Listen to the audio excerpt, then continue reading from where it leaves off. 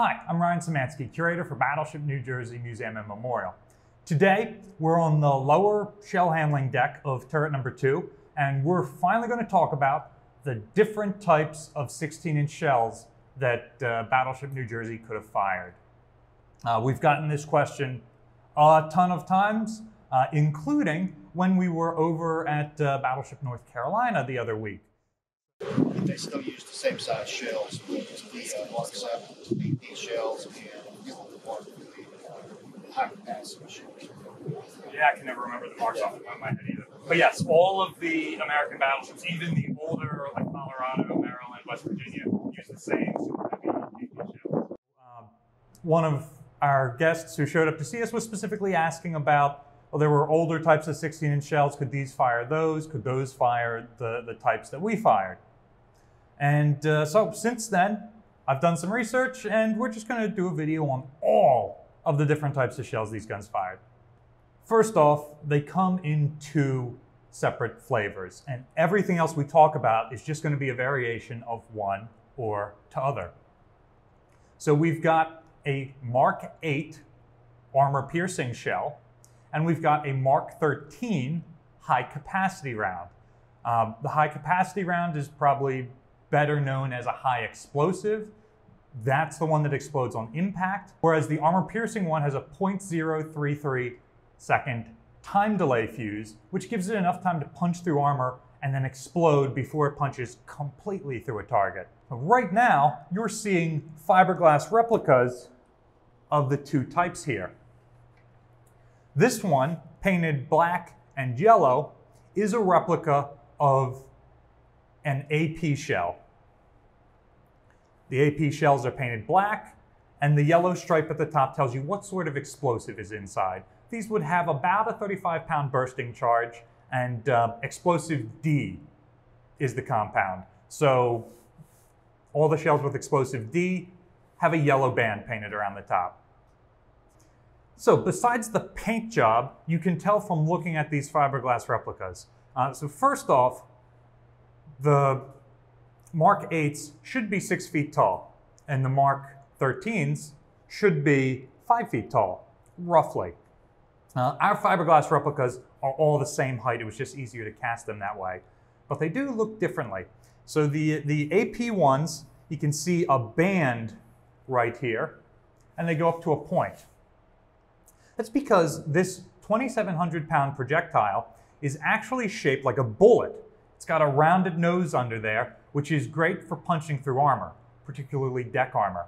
So this big uh, pointy cap on top, the nose cap, is, is just an aerodynamic windscreen. Meanwhile, the Mark 13s uh, are actually shell shaped, conical. And they've got, uh, you'll notice, this notch on the top. That is because both of these shells have a base detonating fuse, which means when they hit something, there's, there's a timer that goes off that'll set them off. The high explosive also has a fuse on the nose, which is what this is uh, showing. Now you can fire this with either or both installed, but basically nose fuse means it hits the target and explodes like that uh, from contact from the nose. Base detonating means it hits the contact and the shell coming to an abrupt stop causes the base to detonate. Or set a timer, as is the case with the detonator in the AP round. Simple. So that's why they're cast a little bit differently. So, the bulk of the uh, over 1,200 of these that Nile-class battleship could carry were armor-piercing or high-capacity shells. Uh, and what they carried specifically differed over time, and we're not 100% sure what the, the mix-up would have been from AP to HE. Uh, we can say with, with a, a, pretty educated guess that probably during World War II there was a larger number of AP shells, and then that number of projectiles decreases and the number of high capacity rounds increases over time. But I, I, can't give you any numbers. In 1982, it would have been X number or, or whatnot. For the Mark 8 armor piercing shell, there is a training round called the Mark 9. And that is what's known as a BLNP round, blind loaded and plugged.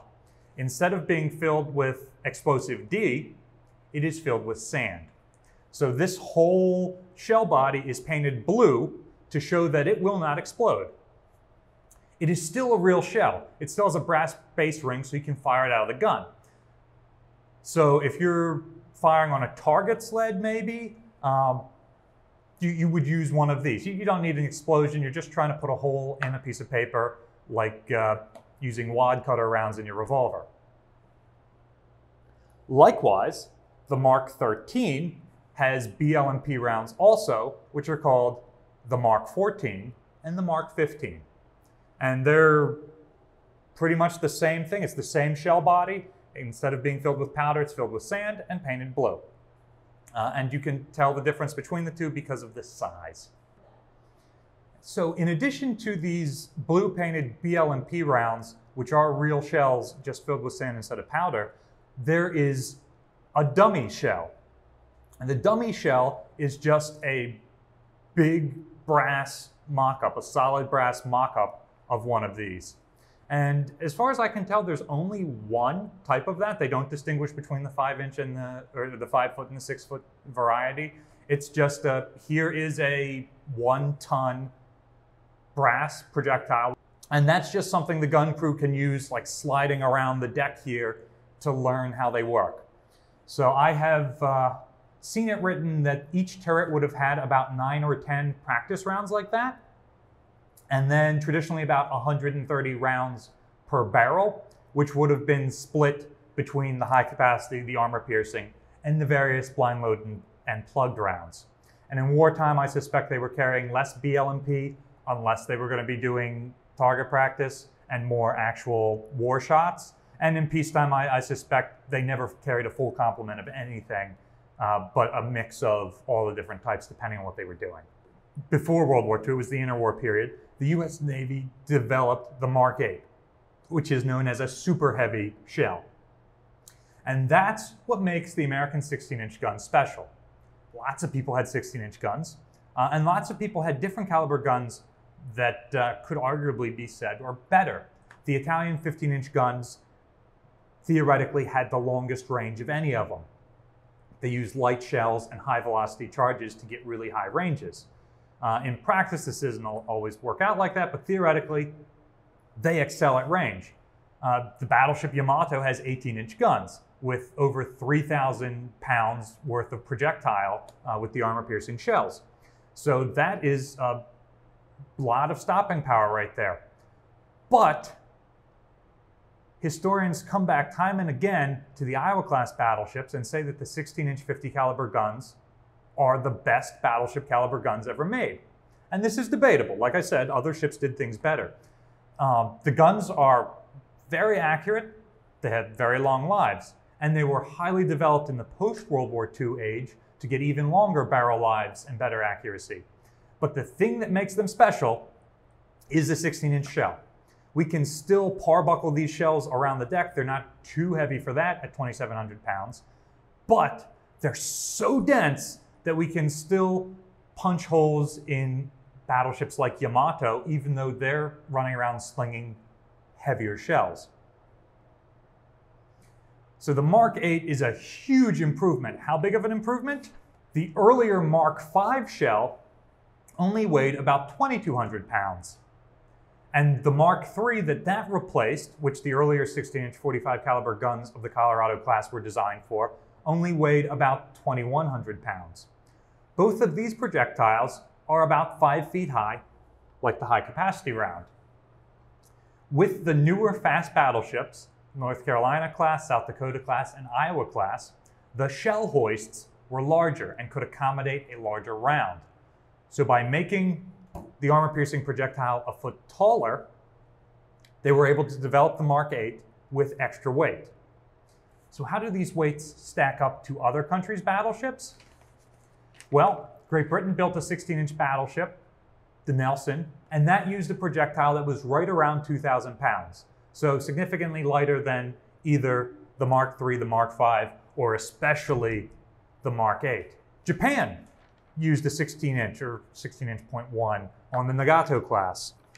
And that weighed 2,250 pounds, similar to the uh, earlier Mark III. So the Mark V were getting a heavier round, and the Mark VIII were really getting a heavier round than what everyone else is using. Uh, and that plays in to the US strategy. We figure that our ships are not going to be able to hit a target at extreme, extreme range. So there's no point in developing a high velocity weapon like uh, what the Nelson and Rodney had, or like those Italian battleships with their 15 inch guns had, the Littorio class. Plus, a high velocity round is going to wear out your rifling a lot more. We figure, you know, beyond 20 miles, we're not going to be able to hit the target. So these have a range of about 41,000 yards at uh, 45 degrees elevation, which is about 20 nautical miles or 23 land miles. And that's kind of on the shorter end because they're going really slow at only about 2,400 feet per second. And they're really heavy. It's called the super heavy round, 2,700 pounds. That, that is a lot of freight train to send through the sky. Uh, and that was done intentionally so that our shells would have a really high, long arc that would then drop through the thinner deck armor of an enemy battleship rather than into the thick side of an enemy battleship.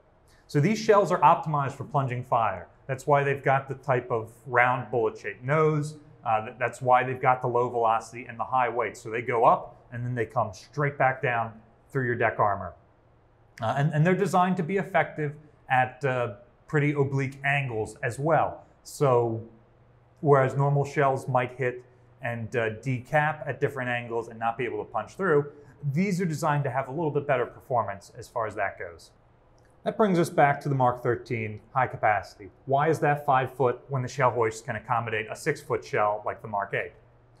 Well, it was one thing to design a much better armor piercing round, but the Navy decided to standardize the Mark 13 round between uh, all of the battleships, whether it was the older Colorado class or the newer fast battleships. So they all fire the Mark 13, but only the fast battleships fire the Mark 8. The slower um, standard type have to stick with the Mark 5s. Make sense? So older battleships with a 16-inch 45 caliber gun have a slightly shorter range than the Iowa's 41,000 yards or, or what have you, because their gun is a lower caliber. The there is less rifling inside because it is a shorter barrel, so the gun the shell isn't spinning as much Ours, like throwing a football, gets up to about 70 rotations per second as it's flung out of the muzzle. And this helps it go through the air and it helps it stay on target without wobbling and going all over the place. That gets us through the main projectiles for these guns. And like I said, every other projectile is just a modification of one or the other, by and large. What I've just described is what these ships would have had during World War II. In the 1950s, the major addition is a nuclear armed projectile, Project Katie, which is the Mark 23 16 inch shell. Uh, they, they took a much smaller, I believe it was an 11 inch artillery projectile, which had a nuclear warhead in it. And they basically took that warhead and they either put it in an existing Mark 13 shell body, so it is a 16 inch shell, or they made a new shell which, for all intents and purposes, looks the same as a Mark 13. Uh, so it's unclear whether they developed a whole new shell or if they were just able to put the warhead in an existing modified shell.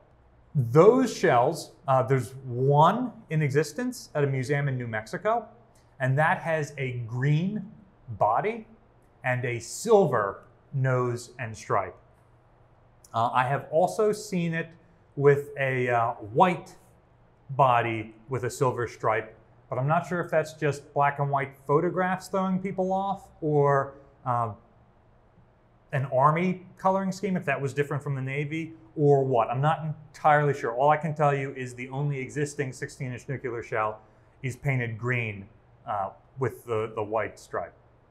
So we, we've done a separate video on Project Katie, and there's a link in the description below. That's one of my favorite videos we've ever done because I, I feel like it answers a question that we commonly get asked. So there's more information on that down below, but I'll just say the real shell was a Mark 23, and because you always need to practice, that was the Mark 24. Uh, each battleship would have been armed with roughly 10 of each 10 live shells and 10 practice shells. 50 total were made, and in the early 60s, the Iowas are no longer in service, so they're removed from the inventory. Uh, again, more about that in that other video. We did some cool research to find that information during the Vietnam War, they were doing some interesting things with 16 inch shells. The ship was only in commission for a year, so even though a couple of research projects were opened up to come up with sabot rounds that would have really long range for, for shore bombardment, uh, nothing really went anywhere. As far as I know, the only modifications were what I always call unauthorized ship alts, where the ship's crew made modifications. Uh, during the Vietnam War, we fired a lot of the high capacity rounds. We could fire one to create a landing zone by defoliating an entire section of jungle. And we would do all sorts of uh, bombardments with them. Well, the issue is the North Vietnamese are very smart. They're, they're very good insurgents. We start firing rounds, they leave the area, the firing stops, they come back to the area. So apparently at some point, this phenomena was uh, passed on to the ship's crew. I don't know if it was ground troops who had called in for naval gunfire support and then they don't find any bodies and then a few hours later they're being shot at again after New Jersey's no longer there, uh, or, or how this happened. I do know Captain Snyder talked to a bunch of infantry commanders and, and was always talking to people, going ashore, bringing them on his ship to show them around. So he certainly could have been told that uh, something was going on. So in this ship's own machine shop, they went through and they modified the fuses on these projectiles.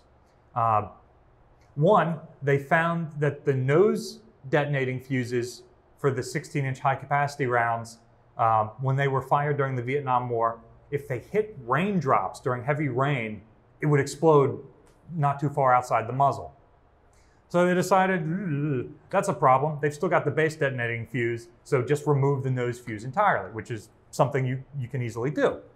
Well, maybe I can't easily do it, but a gunner's mate could easily do it.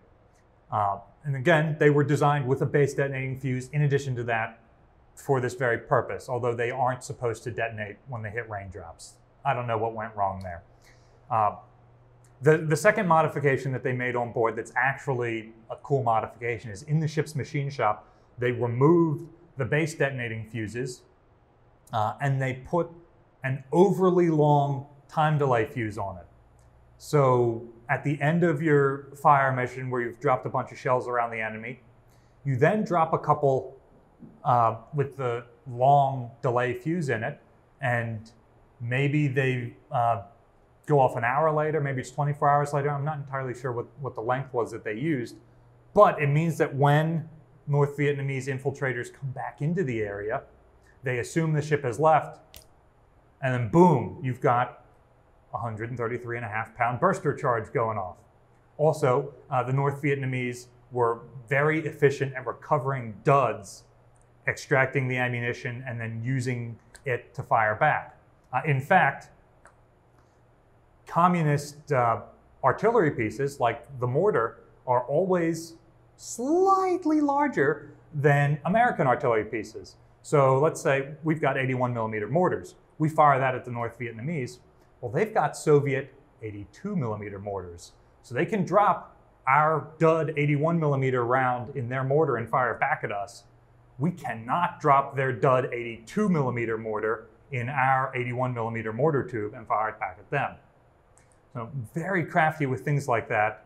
Uh, so if they try to extract the explosive D from this shell, while they're in the middle of that, the time delay fuse goes off and vaporizes them. As far as I know, that's a modification that was only made uh, on New Jersey shells during the Vietnam War. Uh, Project Katie was a modification only made on New Jersey, Iowa, and Wisconsin because Missouri had already been returned to the reserve fleet at that point. Uh, but then the 1980s come around and all of these other types disappear, and we go on to uh, a whole new development thread. And because the battleships were around for a little bit uh, for around a decade in the 80s, they did have time to develop some new stuff. So, first of all, in 1981, when the Battleship Project started, they do an inventory. They found 15,500 Mark 13 high capacity shells in the inventory. They found 3,200 Mark 8 armor piercing shells in the inventory, and they found 2,300 practice shells in the inventory. The 50 uh, nuclear shells, the Mark 23s, have already been destroyed, removed from the inventory. Any other modifications have been returned to their base configurations. Uh, so these World War II manufacturer shells are the same ones that these ships are using throughout the 80s. Uh, and they're the same ones that were demilitarized and given to the various museum battleships as they're turned into museums later on. So if you come and visit our parking lot, you see a bunch of shells lying around. Those are some of these roughly 20,000 shells that were left over from the World War II manufactured inventory into the 80s. The, the ones that uh, are no longer in use by museums, I believe have been completely removed from the Navy's inventory and scrapped. Uh, the Army also had 16-inch 50 caliber guns as coastal defense that were Navy guns uh, designed after World War II um, at, that were a slightly different pattern than the kind used on Iowa-class battleships. So the Army had a number of 60-inch shells in their inventory, and uh, I remember reading an article not too long ago that they are disposing of them now. So that would be by scrapping unless museums were to reach out to them and say, hey, we want this in which case at the museum's own expense, you'd have to go and transport them. Now, at over a ton apiece, that's kind of difficult. So I'm not sure that anybody has reached out to try and acquire those. Uh, if you're looking for a 16 inch shell, first you've got to become a nonprofit organization, and then you might be able to reach out to the Army if they still have some and take it away at your own expense. So when we get into the 80s, they start making a bunch of new shells that uh, sort of start renumbering. So you've got Mark 143 on are these new manufactured shells. And by and large, these are all just modifications of the existing Mark 13 uh, high capacity rounds that are laying around. So, first off, Mark 143 herself, which is an HE CVT, or controlled variably timed. In the video linked below, we talked about the VT fuse or the proximity fuse. This is basically just modifying the point detonating fuse with a variably timed fuse, which means when you've got the shell in the spanner tray before you ram it into the barrel, you turn it for a specific time, and then it will detonate after that much time. Uh, this works really well with shore bombardment if you want to use it as an anti-personnel weapon because radar that it's shooting out will hit the ground and receive and explode in the air rather than making a hole in the ground. So all that shrapnel goes down on guys in foxholes instead of uh, only destroying the foxhole that it hits. Uh, I should say at this point, the US Navy did modify some of these HC rounds during World War II, time delay fuses on the nose uh, that were called HCAA rounds, anti-aircraft.